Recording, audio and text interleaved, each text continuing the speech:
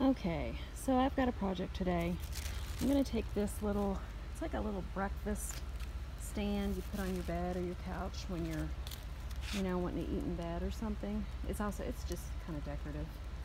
But I'm going to take this, and as cute as it is. It looks, looks old, but I'm going to try to make it look a little more rustic. And I'm going to decoupage um, this old feed looking sign on it. And what that does is when I'm done, it's to look like this was made out of a piece of old sign. Um, and it just gives a, a, vintage piece more of an aged, unique look. So I kind of like doing that. I like doing it over old wood. This is kind of white, so I want this to pop. And it's to be kind of translucent when I put it on this wood.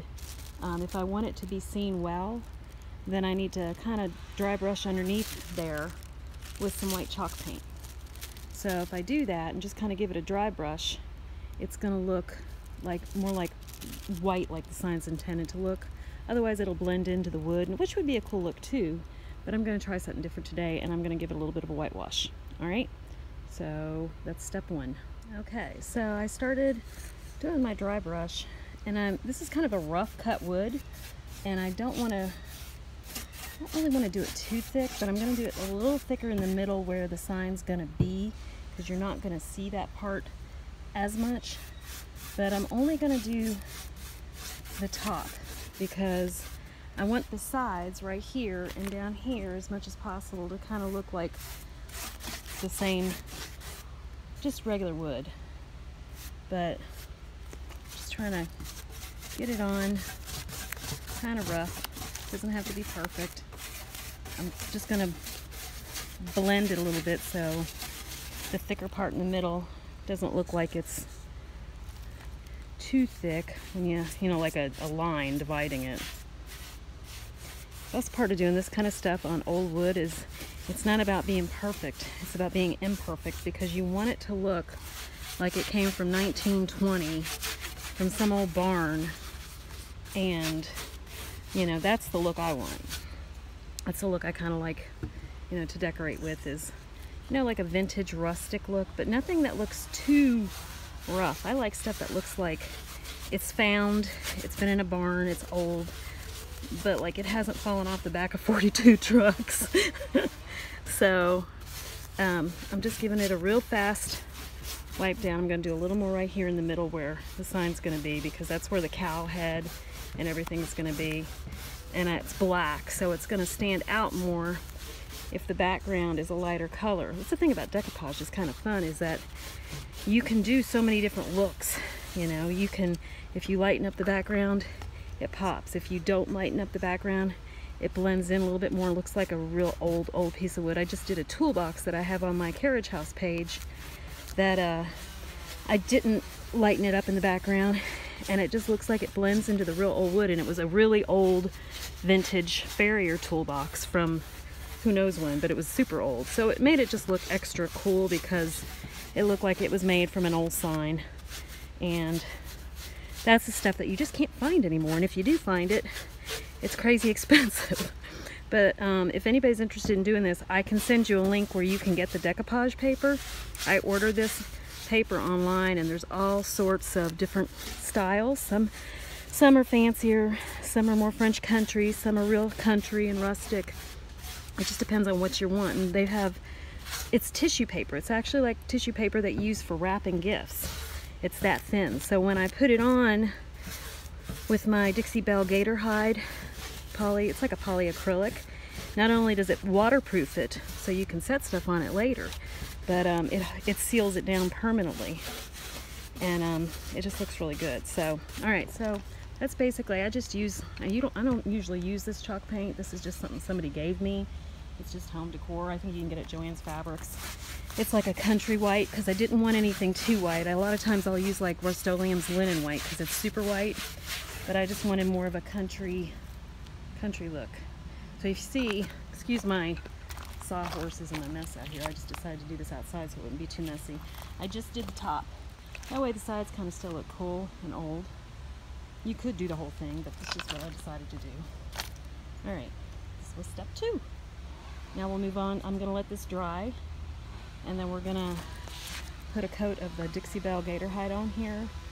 And uh, then we'll put the, the signage on it or the tissue and decoupage it and I'll show you what that is. And that'll be step three. Okay, so now I am gonna put a, a coat of this uh, Dixie Belle Gator hide on this. I'm gonna do one thin coat first because I wanna have something on here before I put the decoupage paper on it. Hopefully you can hear me because they're trimming trees on the street over and it's all you can hear is the big trucks. So this goes on in super thin coats. So I just take my brush and I'm just gonna do a thin coat on it. Doesn't have to be thick. That's my neighbor getting their trees trimmed over there, if you can hear it. Great day to choose to do this. So I'm just gonna put one coat on it, but I'm gonna completely cover it, and then I'm gonna completely let it dry.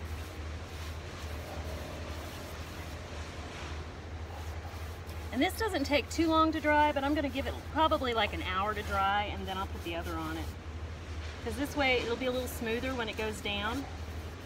When you put the tissue paper down on this with this gator hide, it instantly turns into like toilet paper hitting water. It's like super thin. So you have to do it kind of in sections. So that's why I'm gonna let this dry first and then I'm gonna do the decoupage real slowly with the gator hide. I'll show you how I do it.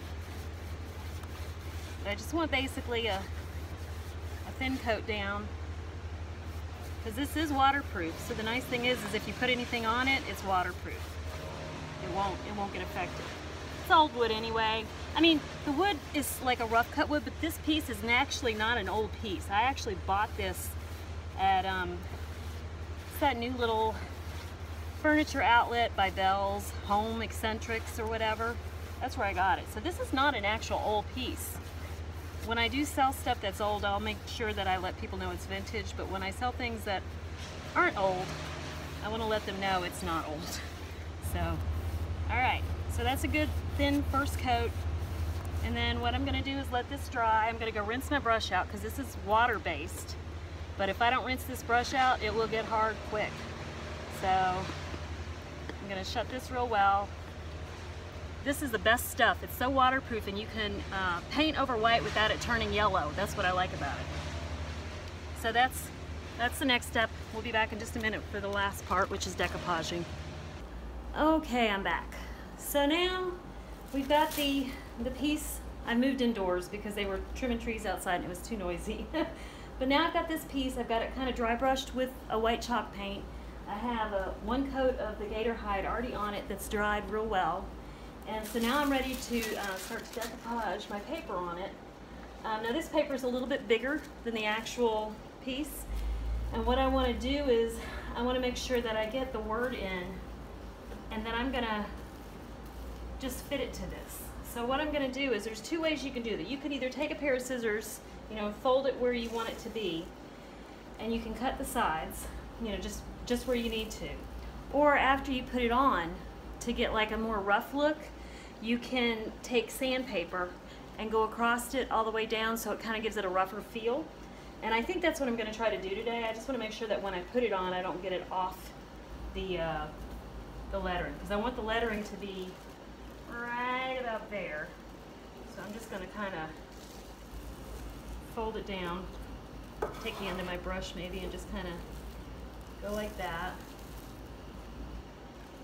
and do that on each side. So I'm losing a little bit of each side of the sign, but the thing about decoupage that's cool is you can do that and make it look rough on the edges, so like it was, you know, purposely done that way. You can also take pieces of uh, decoupage and you can cut them out and decoupage onto top of the other things. And actually, now that I think about it, I might go ahead and just cut the sides because as I put this down, I'm going to do it in increments. I'm going to paint an area and lay it down, and I want to make sure that I have my lettering right at the very top. So I think I'm going to go ahead and just cut the sides. Now if this wasn't a piece that it was, if, like if this was a piece where this uh, decoupage paper was going to be smaller than the actual, um, you know, piece I'm working on, I would wet this paper and I would just kind of pull it apart with my fingers to give it a rough edge. Because anytime you wet decoupage paper, the tissue paper, um, it, it gets like, literally like tissue paper, just pulls apart real quick. But what it does is it kind of gives it a better rough edge, but this is going to exactly go to the edge. So I'm not too worried because if I have any pieces that look like they're kind of going towards the edge and they're kind of hanging over after I'm done, I'm just going to take a piece of sandpaper and kind of rough it right off. But I think I'm going to do this only because I want to make sure that my lettering gets centered right on this and I don't lose it off the side. So I'm going to go ahead and just cut this strip. And the funny thing about this paper is I save all these little scraps because I might be able to use them somewhere else. Uh, it's all about how you blend it in. So I'm just, I keep little pieces. Sometimes I, like you can cut just one part of the design. Like if you just wanted the, the words and not the cow on it, you could do that. You could put it, you know, like you could go sideways with it like that. But I want the actual whole thing on there. And after I get it on, there's ways you can blend the edges too. You can bring in some, some darker color chalk paint or stain or whatever you want and blend it. But since I want to make sure my words get on here right, I think the first thing I'm going to do is I'm going to start from this side and work down. Um, that way I make sure my words and my lettering are all kind of centered when I start. Because I'm going to do this in increments. So I'm like going to set it here for now. And I'm going to start by probably just pulling this piece over. I'm not going to crease it. I'm just going to pull it over. That way I can paint roll it back, paint over top of it and smooth it down and then just start working my way down this way because I want to make sure my lettering's right. Um, one thing about this is I use the Dixie Belle Gator hide on this. I don't sell this by the way. This is, I got this um, local craft stores usually sell it. I'm not one of the reps. So I got this from Pick and Boots Vintage, which is, you know, they have a lot of different Dixie Belle products in there. Um, but when you put this down, you want to make sure you kind of get the same thickness of a layer as you go along because if I get a real heavy duty thick coat of it here and I smooth it all down but then I get a lighter coat here you're gonna see a difference in the way it dries. It's gonna be darker up here and look lighter here and it kind of gives an uneven coat. You know an uneven I should say an uneven look is what it does so now this is always kind of interesting to see how it turns out because I am no, by no means a perfectionist at this. This is something I'm still kind of new at, but you know, like I said, I like doing it on older pieces because it's not about perfection, it's about imperfection and seeing how it's going to turn out. And as my cousin used to say, you cannot, there ain't nothing you can do that you can't fix. so I'm going to put, I'm going to start off by remembering how far up I'm going. I mean, I don't have to go, I can go higher than it, it's not going to hurt but I want to at least start off up here. So I'm going to put a thick coat, or not a thick, uh, like a reasonable size, you know, just coat of this right here. I don't want to get it too thick because I've got carpet underneath here and I don't want it to drip through. that wouldn't be good. I might just move this down a hair so it doesn't drop on the carpet because there's little lines you know. So I'm gonna just do that. I'm gonna get a fairly decent amount. Try to make it nice and level, like, you know, going across. Not too thick, not too light. And you can't see it because it's clear. I've used this stuff on um, tables after I've chalk painted them, and it's beautiful for sealing it. All right, so I'm going to start by putting this down, hopefully you can see it because I know I'm, I'm kind of in the way. And make sure that it's going to be centered. I'm going to have to pull it up just a hair more. Okay, so I want it up about, ooh, see, it gets right into the, right about there. And I'm going to pick it up so it doesn't adhere too quick. And it looks centered about there. So now what I'm going to do is I'm going to take my brush, dip it back in, and paint right over top of it and I'm going to paint towards, from the center towards the outskirts. And the reason I'm doing that is I want to push any little air bubbles out. And now this is going to wrinkle as you do it. You're going to see wrinkles in this, and that's okay because the wrinkles will dry. You'll still have some wrinkles. Some people are really good at this and they don't get any, I'm sure, but I'm doing this over old wood. So it doesn't matter if I get wrinkles because it's part of the imperfection of it. That's what I, I like about it. But as I do it, um, and I see wrinkles, I'll try to smooth out as much as I can, but if I can't, I'm not gonna freak out over it because after this dries, most of those wrinkles will automatically clear up on their own. And if they don't, I'm gonna use them as part of the design and probably maybe even dry brush over them, sand a little bit to make it look like pieces of a sign that kind of were coming apart. So that's kind of how I do it. So now I'm gonna pick up this side and I'm gonna pull it up to where I pretty much ended, maybe a little bit more so there's not a line. And I'm gonna put some more of this down in a small section. I don't wanna get too big because I wanna make sure that as I go, I can, um, I don't wanna rip it either. So like, I'm just gonna kind of pick it up. I kind of went over the paper there so I had to stretch it out.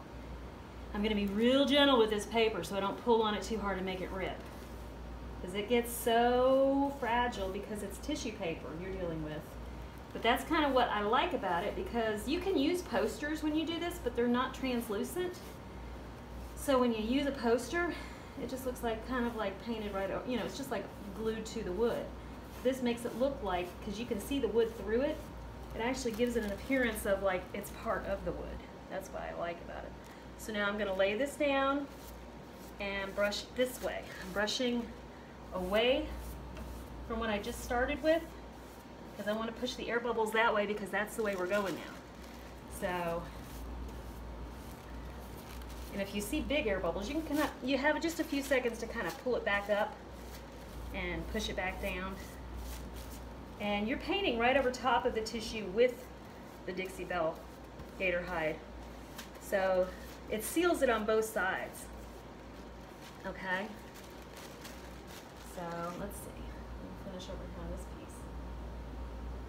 When you're doing really big pieces, secret is just go slow. Take your time doing it. You don't have to be in a rush. You know, down here is not glued yet. Nothing's on it, so I'm good there. I'm just trying to smooth this out as much as I can. And if you're really rough with your paintbrush, it can tear up here. So you just got to make sure that you don't um, get too rough sometimes like after I'm done, like this has got little lines and little imperfections in the wood, so I'll probably go over and be a little rough in those areas just to kind of cause some distress in those spots because it's only going to make it look older. And along the edges, I usually try to make sure I get enough underneath there so that it, it adheres good because if you don't have it underneath there, it won't.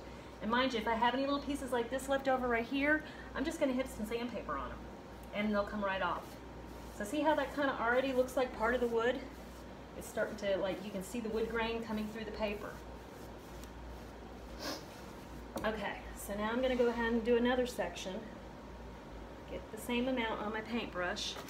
And see, because this I painted it white underneath, you can see it better. If I had not painted it white, it would look more like just a piece of the wood. It would be blended into the wood itself, which, like I said, is a cool look as well. But I kind of wanted it to look like the sign intended, which is kind of white. So, and it, like I've got some little deep grooves and cracks here. I'm going to try to get it down inside this little crack so that it adheres down in there too when, you know, when I do it. And I'm trying to keep tabs on where I stop so I know where um, my end spots are. So now I'm going to lay this down, get some more. I'm not, before I lay it completely down, I'm to, I use my brush to smooth it as I go. So like, I don't know if you can see, hopefully I got the right angle on this. Probably should have had the camera on the other side, but um, I'm going away with it here so you can kind of see that it's pushing the air bubbles that way. Okay? And over here on the corner, I'm just gonna lift this up a hair and I'm gonna try to not put too much because if I put too much, you're gonna see a thick line right there. And I don't want that. So I want it to all be pretty much uniformed. Not to say it's not happened to me and I don't get it, but when it do, when I do, I just try to make it look like part of the, the wood, like I said. But it's starting to look like more like part of the wood. Okay? So I'm gonna pick up another little piece. This is the area where I always gotta remind myself to slow down not get too fast because as I get towards the end, I get excited. I'm like, woohoo, almost done. But then I realize, well, you could put too much here and it, and it might not look right or you could rip your paper. And if I rip it, it's still gonna look okay because it's not supposed to be perfect. It's supposed to look like an old sign, you know, that somebody made a little breakfast table out of. This Dixie Belle Gator hide goes a long way too. It's not the cheapest stuff in the world. I think I think what I paid for this big bottle was 45 bucks, but I've already used it on several projects and I'm not even I'm, i mean, I've only used a tiny bit because it, it, you don't need a whole lot. It goes on thin. So, okay, so now I'm going to go ahead and lay this down again. And I'm going to get some more of my paintbrush and push it that way. And I'm going to kind of pick it up here because I see a little bit of an air bubble right below the cow's jaw.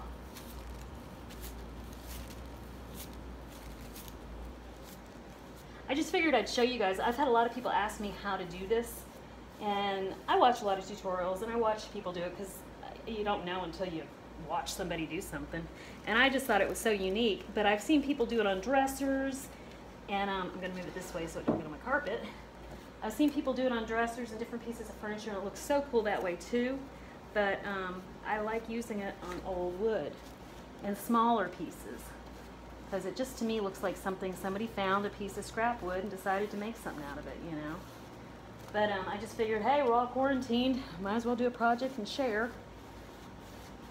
But like I said, if you guys want to try this, just PM me or message me or whatever, and I'll send you the link to where I get it. It's cheap. Like a piece of this paper might cost you five bucks or three to five bucks. And some places, like where I was getting it, she'd give you like two pieces for like six dollars. You know, I ordered some of the same stuff over and over again because I like it so much. Like I have one that says um, it's like a an old trolley pulley sign, and it just looks cool. And it has like national manufacturing on one side, and that's what I did a vintage toolbox with, and it looked really good. I'm gonna lift this up here because I have a little bit of a lip here that I didn't get enough on, so I'm gonna make sure I get get it all the way across because that's my last point, and then I'm gonna push it down with my brush. Okay. So that actually went on pretty dang good. I've gotten better at this. I used to, at the first few times, I like thought I was going to put the whole piece down at one time and then brush it out. And you can't do it that way, with big, especially with big pieces, because it ends up, you end up with air bubbles underneath that you can't get out, and it looks kind of funky. And I mean, it still looked good on the pieces I did it on, but I mean, I kind of, I've learned to do it in sections. So now the nice thing about this Dixie Belle Gator hide on top of this is I am sealing it as I'm going along. So by the time this dries, it's waterproof, it's sealed. I don't have to go back over and varnish it. A lot of people, when they do um, de decoupage, they use Mod Podge to put it on, which it's like a glue. It's like, it looks like almost glue. But it, it's not sealing it. You still have to go back over and seal it with something, you know, to protect it. And I mean, it's, it's good for other uses. I mean, a lot of people use it on fabric and stuff, and you can transfer images with it. But I love this because it's so durable and it really, it's like one step and then you're done. So, all right, so it's pretty much all on. That little piece on the edge, I'll go over those if there's any loose pieces with sandpaper when I'm finished, just to get them off. But now like what I'm gonna do is, see I have little splits in here and like spots in the wood where, because this was pieces, small pieces all in one area. So I'm just gonna go through and I am gonna kinda push my brush into the little, like the little what do you call it, um, knot that was in this piece of wood, just to make it look more realistic. And if there's any really deep grooves like through here, and I push my brush down into them, like that, it kind of pushes the paper down into it and looks more like it's in the wood, not on top of the wood. You know what I mean? So I'm going to just go down each little crack kind of push my brush just to kind of give it a, make it look like it's really part of the wood. This piece is going to be for sale. Um, usually most of my stuff is. Once in a blue moon I end up finding something that I want to keep. But if you're interested in this, just PM me and I'll send you a price on it. Um, but I'm just to go through, get all my little knots filled in. Even if it kind of mars the sign a little bit, it's okay because it's, it's meant to look old. It's meant to look like part of a barn that somebody used to make something. Which trust me, if I could find a part of a barn that had this on it, I would. I would but I'm not very good at building things. So it would be a little more difficult for me. If I can find the piece already put together and then just decoupage the sign on it, it makes it so much easier. But this would look cute like on a little farmhouse uh, bedroom, like you put it, you know, set it up on the bed in a guest room or something, put like a little coffee cup and little, you know, some little books or something on it, or I had it sitting in front of a fireplace that um, for a while where I was trying to kind of cover up an area and I had a basket on top of it. You could put it on a table. You could turn this over and use it like a basket type thing. I almost thought about doing the underside because um, the underside looks similar too, and I thought, oh, I should put one on the underside, and that way you can flip it over either way and have the old signage on it. You could even stand this up in front of something. Like you could stand it up on a counter, in front of a fireplace, anywhere where you wanted to kind of have, you know, like that look. You know, just kind of get, you can put it in front of a window if you want to block a, a window or something. Put it in front of your cat litter box to hide your cat litter box because it's got little, it's got little legs on the sides like that. So like if you stand it up like this, it, it, it'll sit, you know, just like that, boom. But if, if you notice, the sign's not going nowhere when I pick it up because it is adhered. At this point, it's there. And I'm just going through and getting all the little pieces that, you know, are in the between of the slats and pushing them down a little bit, making them look all, you know, old vintage. But if I had not painted that backside white, you wouldn't have seen it this well. It would have been a lot darker and it would have looked just like that black lettering over top of this wood. But like I said, that's actually a cool look too. And um, if you go on my site, I have the vintage um, toolbox that I did, and I used that trolley sign on it. And if that's still for sale, um, it's kind of pending pickup, but I'm not sure if the owner's, the person's going to still get it or not. So that's still for sale too. Um, go on my site though. Everything I post on there, I sell. Like I said, once in a while I'll find something kind of cool and I want to keep it. I've got some old radio cabinets that I want to do this to, and I think it would look really good. So that's basically it. Now I'm going to let it dry, and I'm going to try and get this up close so you can see, but it's got, it looks like an old piece of sign on top of, you know, this is an old table I'm doing it on, so if you see drips, don't freak out, because I'll probably decoupage something on that when I'm done. You can do this decoupage on any kind of furniture. You can put it on tables. Old tables look the best, but, um, you know, any kind of thing. You could do your kitchen table if you found a cool stencil you wanted or something on it. But that just kind of gives it a whole different look. And like I said, I'm going to come back here in a little bit when it dries. And this little flap here, I'm going to just take sandpaper and go like that and when it's dry you wouldn't even know it's just going to look like a rough edge and down here where the, the edges were I could sandpaper that a little too if I wanted but it actually blends in pretty darn good because I painted that white color underneath it so that's pretty much it I will try to do um, some more tutorials here because like I said I've had a lot of people asking me how to do things and I'm more than happy to show you how to do stuff um, go out and check out my Carriage House page if you're not, not already following it. Um, I redo furniture, reupholster, chalk paint. If there's something you want done like this, and you have a piece that's really cool and you want me to do it, let me know. I'll do it. Um, and I can give you a price. Um, it's not it's not too horribly hard to do though, so if you want to try it yourself, you know, try it. I mean, start on something really old or something just scrap. You could just take a regular piece of wood and do it for a wall hanging. This would be a cool wall hanging actually. So anyway, hope that helped show you how to do decoupage. All right, have a good one. I just wanted to show the finished piece. Um, if you notice, I sanded down the little edges so they all look kind of just rough right on the wood. And this is a piece that's going to actually sit like that on a bed or on a couch. You put your drinks on it. It's all dry now. See if you look at it, it all got um, pushed into the wood real nice. Looks like a piece of the wood. The little uh, little holes and everything, a little knot in the wood, all the little imperfections. But um, I just wanted to just wanted to share that, and uh, I'll have pictures of it staged probably here on my carriage house page. So if you want to see what I how I stage it or what I do with it, you know, you can. But it can be set up too like that, like a sign. You can put it anywhere. I just think it's kind of cool.